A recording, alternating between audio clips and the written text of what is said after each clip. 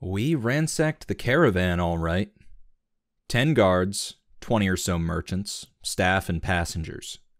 Most of the guards went down, only two surrendered, and they didn't even put up a fight. Our prisoners are being stripped of valuables and being sent to another camp to be ransomed back. Our cargo haul looks to be food supplies, smithing ingots, spices. What I thought was mage reagents, clothes, and a chest of gold coins. Bribe money? Taxes? But why is it heading towards Wolf Lake?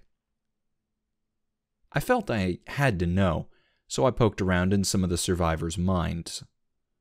This caravan was a shipment for the Church of the Sun Worshippers from one of their larger central cathedrals. They don't do their own caravans. They use third parties. Whoops. If they ever find out I was involved in this, I can't let Avery read my journal next time she catches me. Part of me is worried. Part of me can't stop laughing. So we're heading back to the war camp with our riches. Should be a two day ride. We're certainly more armed than their original guard retinue. Wait. Why was the church getting money?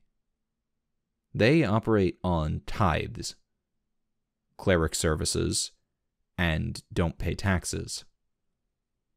The caravan drivers don't know anything about it. Something's funny.